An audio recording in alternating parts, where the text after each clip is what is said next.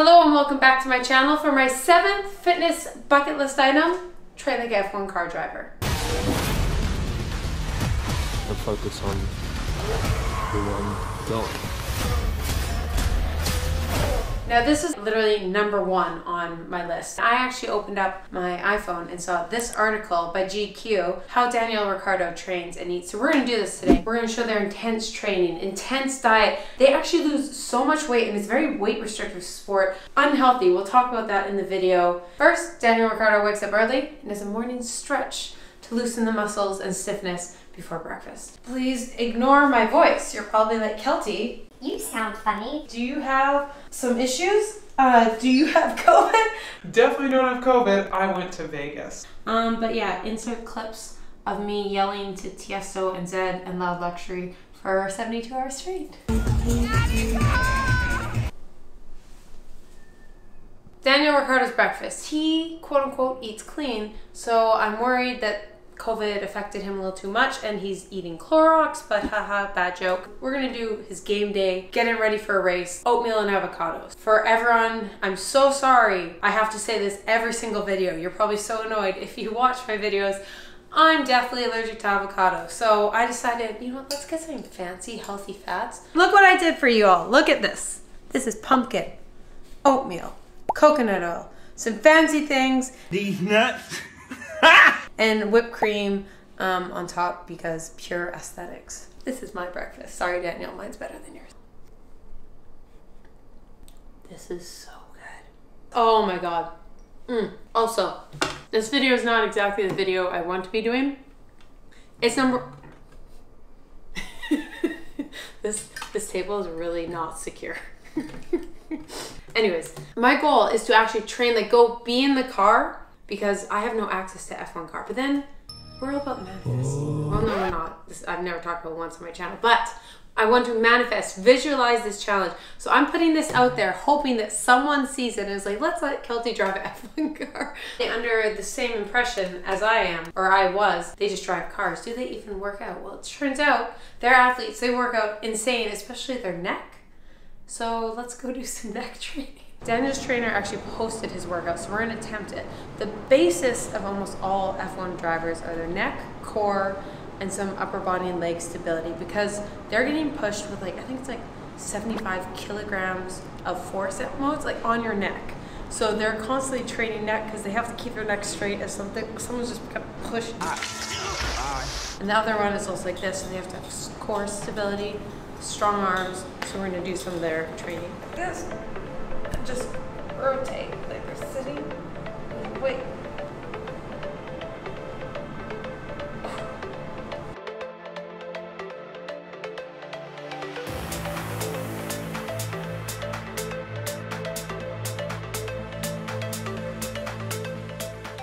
So you you might have seen this. This is the main thing of their training is protecting their neck.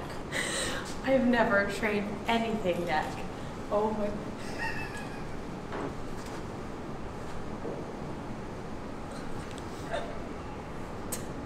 don't think I'm doing this right.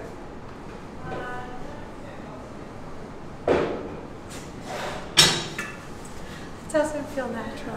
Now we're gonna do Danielle's circuit that his trainer did, which is five moves, 10 reps each, two minute break in between, just one after the other. You do it five times.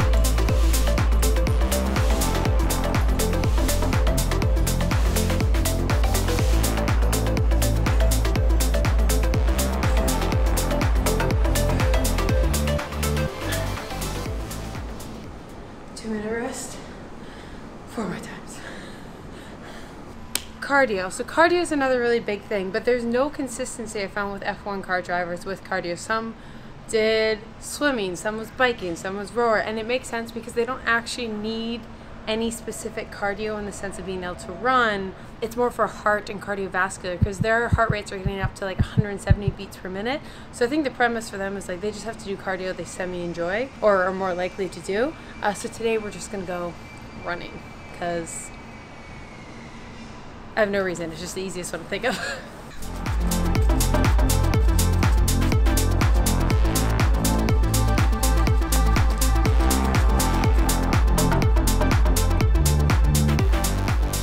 so workout done. Now he wouldn't be working out on race day. You would normally be relaxing for the entire time, just like keeping your mental and physical self like rested until maybe a bit before and start warming up, getting endorphins going. But for the sake of the video, I did the workout in it. We're gonna do what Daniel Ricciardo has for lunch. Now, his lunches, he just says, are very basic rice, chicken, vegetables.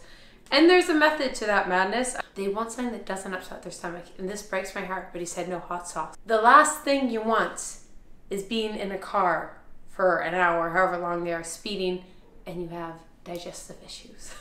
so we're going to make chicken rice and vegetables, but with a twist. Okay, while the rice is making, who can guess? I saw this on TikTok, and yes, he said no hot sauce, but I'm not actually in a race, so I thought we were gonna make a little TikTok trend. If you guys have seen this, and we're gonna try that like sriracha mayo, best sauce on the face of the planet.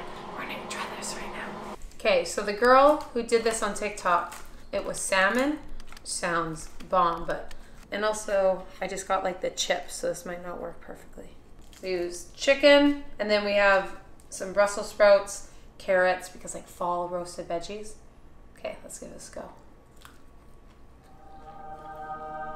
Oh my god. If you have not tried this, go now. That's all you get from this video. I need to stop making TikTok references, but eat your vegetables!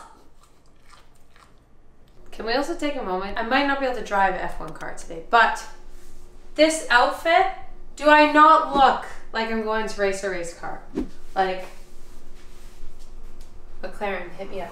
So before I get to my race, which we'll talk about after, reaction drill. So one warm up they do is insert clips of them doing all like reacting to the fancy lights and all those really expensive reaction uh, equipment they have, but I don't have that. That's why I said I'm putting this, I'm manifesting so I can do this all one day and hopefully someone out there in the internet high sees this. We're gonna do just an old school reaction drill of dropping two balls and I have to catch.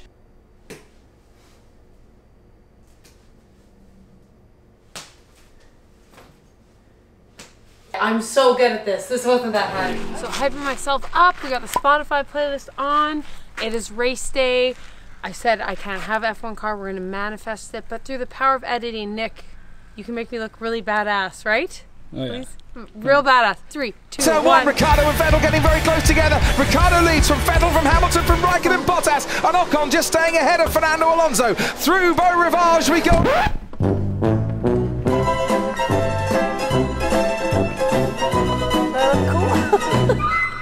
Absolutely amazing. I don't know how you did that, Daniel. Incredible. Big race, one, popping champagne, and now media. I know the paparazzi are everywhere asking me so many questions. And then what? The first thing, they have water because let's see down in the comments, try and guess how much weight they lose every race. Lewis Hamilton was quoted saying this. Is it A, six kilograms, B, 10 kilograms, or C, 14 kilograms? 10 kilograms if you answered properly, which is how much? It's 20, 23? 23 pounds? That's insane. They would be drinking a lot of water, and then Daniel Ricciardo's trainer brings him a shake.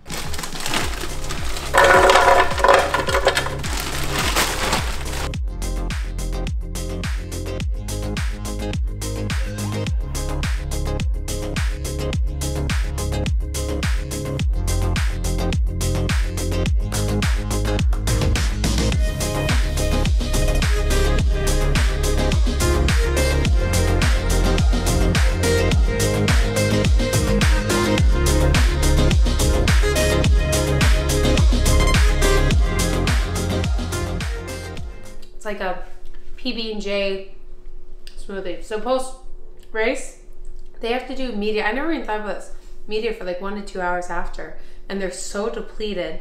They have no time for a meal. So yeah, usually the trainer would just bring like a calorie bomb shake, then they have the hydration, and then that's it for two hours or so after race, and then for a proper meal. Something I found interesting that I didn't realize about F1 drivers is it's how much of a weight-based sport it more so was than now. I think of things like MMA, boxing, where there's specific weight requirements, but then I also think of things like running and gymnastics, where it's very your weight depends on your performance because of course if you weigh more it's going to be harder to run they had to be super restrictive and i don't want to say like it created eating disorders but just a little researching these guys had to be especially the really tall ones they had to be lighter just to, for performance in the car. They were restricting themselves so much, which I'm so happy to hear that in 2019 they made an implement that uh, you have to be like 176 pounds or you in the seat. I, I don't know specifics, we'll put it here. But it's just nice seeing sports are going in the direction. I feel it's a very modern thing for females and males. There's certain sports that you'll always kind of have to have a weight requirement. Also not having people, a really tall man having to stay below 150 pounds.